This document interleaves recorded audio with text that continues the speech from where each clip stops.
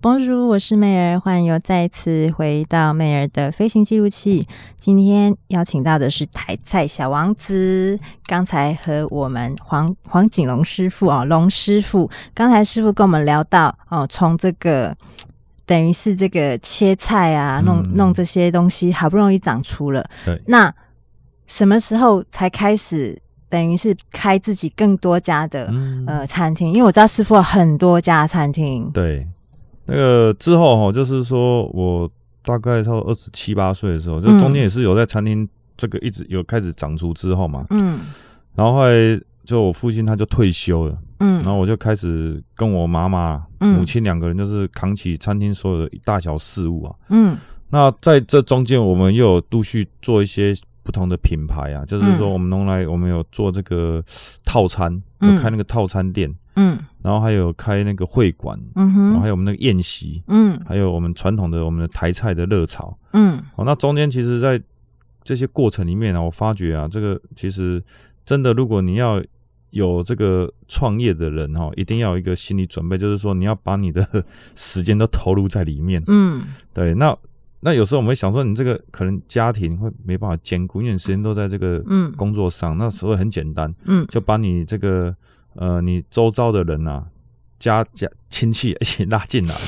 所以说我我我餐厅像我我们因为餐厅很多嘛，就我太太啊，嗯。就一间店给她去去去管理。嗯。好、那我丈母娘啊，嗯。也把她拉进来，嗯。哦，去当经理。那我小舅子啊，来在餐厅的厨房啊，嗯。还有甚至说像我弟、我妹啊，还有妹夫啊，我弟他太太啊，嗯。整个家庭家族人都分散在这些餐厅里面这样子。对，但是大家一起同同呃什么，应该讲说同舟共济，同舟共济、同甘共苦，哎，这样子就协力，这样就不会会觉得说好像只有你一个人在工作，对，就是说嗯。变成家庭也顾得到，然后对，经营方面也顾得到这样子。嗯嗯嗯嗯嗯。嗯哼，对啊。然后我知道师傅出了很多本食谱哈，嗯对啊，在今年的一月哈，新出版了一本叫做《台湾小吃的图解版》，对，那里面有很多很多非常好吃的台湾小吃哦，比如说嘉义鸡肉饭呐、庙口卤肉饭呐、虱目鱼肚粥啊，还有什么胡椒呃松山的胡椒饼对，基隆的螃蟹羹。对，哦，要对吗？安尼讲了以我口水哎快要流下来了。对 师傅来对，跟我们听众哈、想、嗯想做简单的、快速的、快速好吃的台湾料理，教我们一步吧。来，这个小吃啊，你刚才讲的那个，你为什么前面都加一个地名，你知道吗？嗯，为什么？为什么？因为那是当地最有特色的，嗯而且呢，这就是我亲自啊到这些地方去吃，吃了之后回来写，把它的味道大概做一个这个比例的拿捏写出来的。嗯。所以说你在讲那些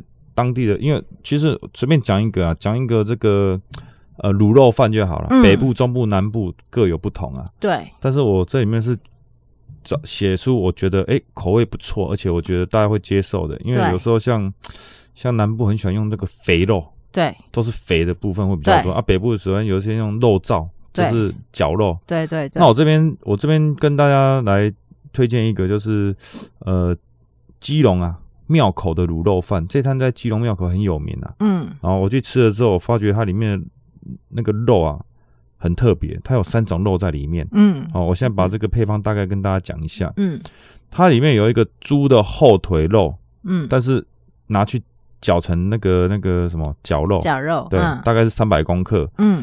梅花肉，猪的梅花肉的绞肉一百公克，嗯哼，然后还有一个是梅花肉，要来切，用手来切成肉丝嗯，一百公克，这三种肉，三种肉，所以就是后脚肉三百公克，对，然后梅后腿肉梅三花肉梅花肉一一百公克，还有一个是要手切的，肉丝，对，嗯梅花肉的肉是一百公克。嗯。那还有一个，我们每次吃这个嗯卤肉饭，我觉得哎、这个嘴巴好像会有胶质粘住，对不对？对，这个叫做猪皮啊，你要另外再买猪皮回来切成丁，嗯这个大概一百公克就可以了。嗯那里面呢，吃起来有点甜甜的啊。嗯。那个东西叫洋葱，嗯，洋葱大概二分之一颗洋葱。不葱。是红葱头吗？对，红葱头，其实红葱头我是建议说，我们去买市面上炸好的红葱头酥就好了，因为你红葱头啊。你新鲜买回来，你要你要把它变成红葱酥哈，你要经过好几个程序。第一个就是要切，手工去切成红葱，呃，你要先剥，对对对。剥成剥那个膜，然后再用刀子去切，切成红葱酥，对。然后还要洗水，对，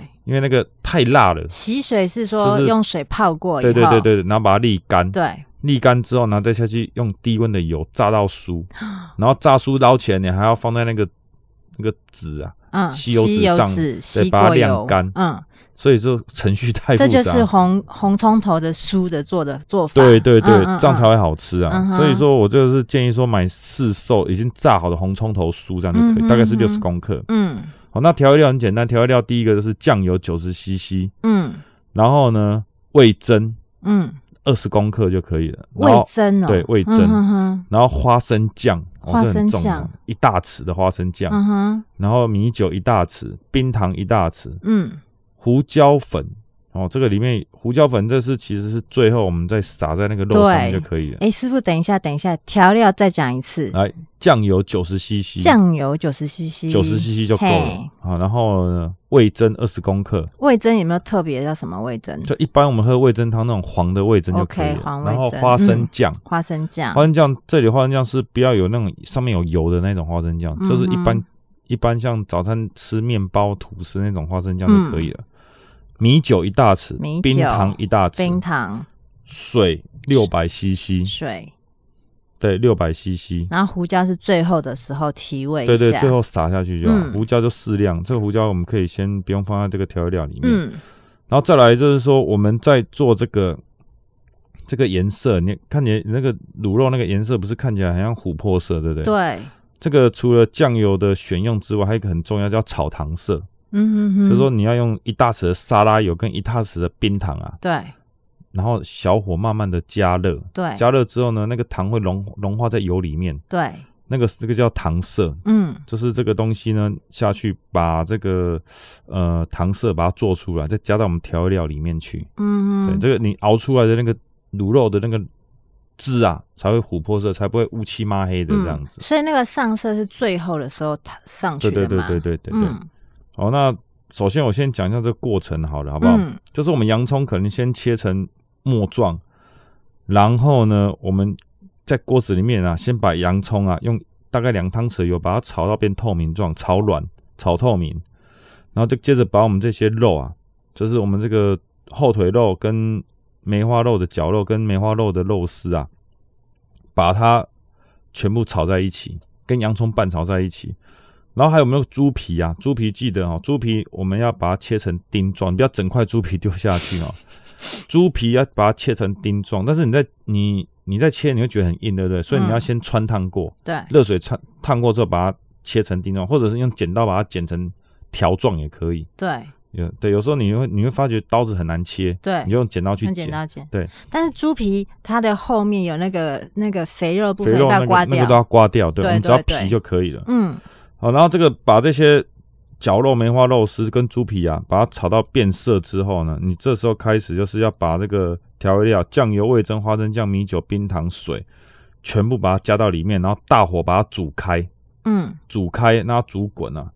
那煮滚的时候，开始我刚刚有讲那个糖色有没有？就是另外一个锅子，你就是一大匙的沙拉油跟一大匙的冰糖去把它炒出糖色。嗯它会变成泡沫状的时候呢，你就把那个糖色冲入我们刚刚炒的那一锅那个肉燥里面，卤肉里面嗯冲下去，然后呢，你就开始转小火嗯，去慢慢炖，这个大概要炖到大概一个半小时左右。哦，一个半小时哦。对对对，嗯所以卤肉饭做法就是很简单，你只要把前置作业做完之后，你只要开小火。那我建议说，你在卤的时候，你就是可以拿到一个类似瓷器的，嗯。像是那个陶瓷的那个瓮里面啊，嗯，开小火或者砂锅，砂锅哈。对对对，嗯最好这个效果更好。对，然后卤了一个半小时之后，我们其实啊，那个像猪皮它已经化掉了，嗯。然后你这个你这个卤肉哈，舀一匙上来，它会开始变得很粘稠，你都不用嗯再勾芡了，对，它很粘稠，而且那个酱汁淋在饭上面，你会吃到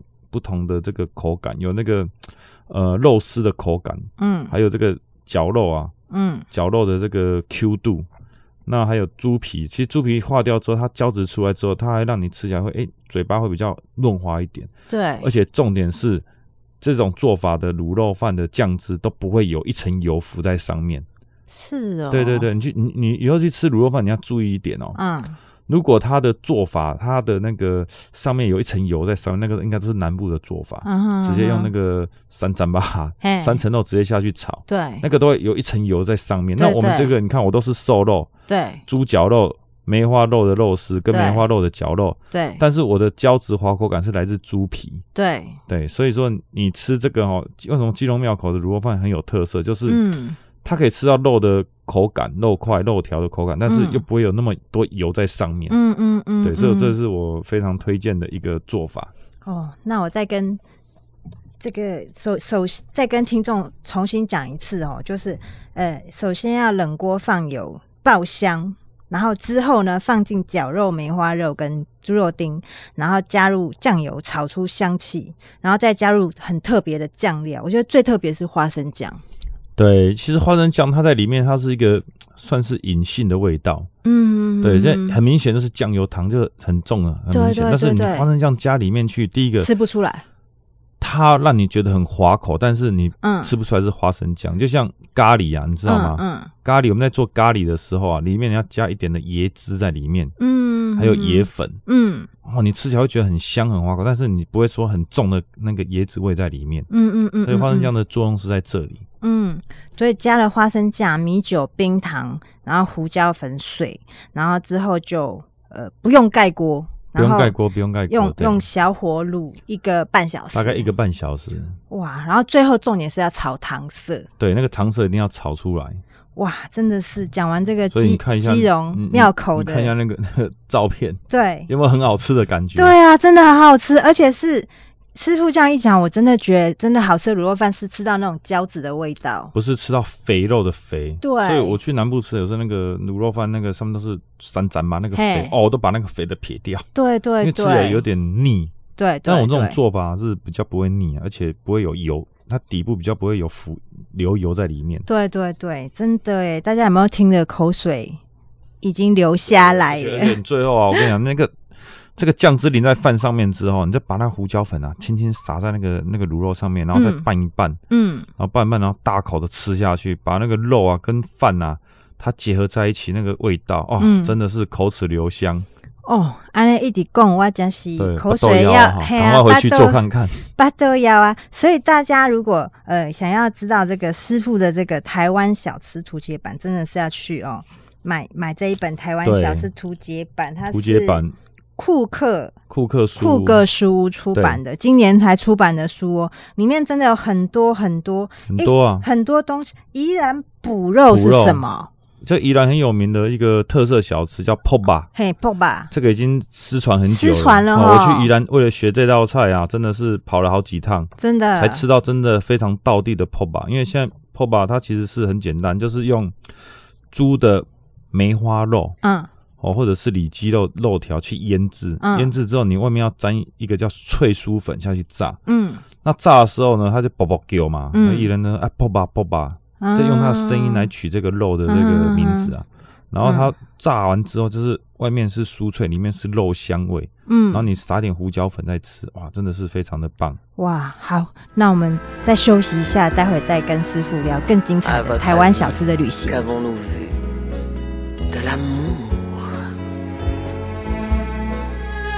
De vous à moi, vous m'avez su, mon amour. Ne vous déplaise en dansant la javanaise.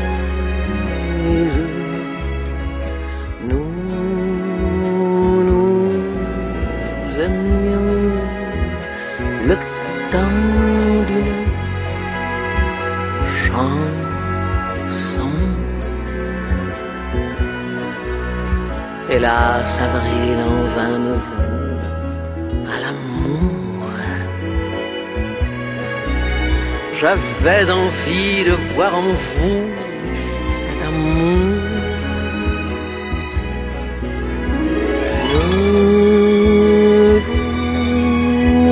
plaise en dansant la javanais.